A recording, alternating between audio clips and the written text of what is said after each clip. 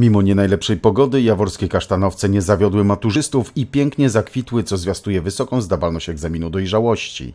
W Powiatowym Centrum Kształcenia Zawodowego i Ustawicznego przystąpiło 94 absolwentów naszej szkoły do egzaminu maturalnego. W tym roku w naszej szkole zdaje 60 osób egzamin dojrzałości. No, w dniu dzisiejszym do matury przystąpiło 106 absolwentów z liceum imieniem księcia Bolka I oraz 10 absolwentów z liceów dla dorosłych.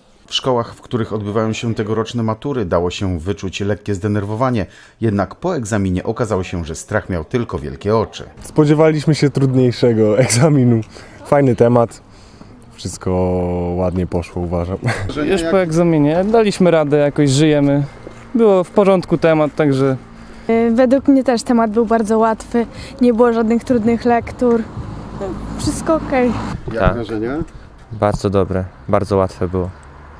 A jak wspominają swoją maturę dyrektorzy i wicestarosta powiatu jaworskiego? Oczywiście, jak każdy, e, byłam e, przerażona, tym bardziej, że zdawałam e, maturę w nowej formule. Byłam na profilu humanistycznym w liceum ogólnokształcącym.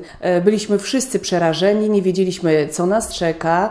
Język polski zupełnie odbiegał od języka polskiego na innych profilach. Ale dzięki wspaniałym nauczycielom, e, i tutaj chylę czoła e, panu profesorowi Stanisławowi Bodzionemu, e, przygotowali nas wspaniale, także zakończyło się oczywiście sukcesem. Na pewno byłem zdenerwowany, ale chyba wspominam dobrze. Ja pisałem inną maturę, gdzie musiałem pisać matematykę, która mi już w życiu nie była potrzebna, no ale zaliczyłem polski, zaliczyłem matematykę, zaliczyłem ustną i jak Państwo wiecie, no matura zdana, studia skończone, a później do szkoły, do pracy. E, bardzo miło wspominam swoją maturę. Dzięki świetnym nauczycielom, e, dzięki świetnym pedagogom e, zos- zostałem bardzo dobrze przygotowany do matury. Oczywiście był stres, były emocje, było zdenerwowanie, ale wszystko bardzo dobrze wspominam, bo skończyło się wręcz wyśmienicie.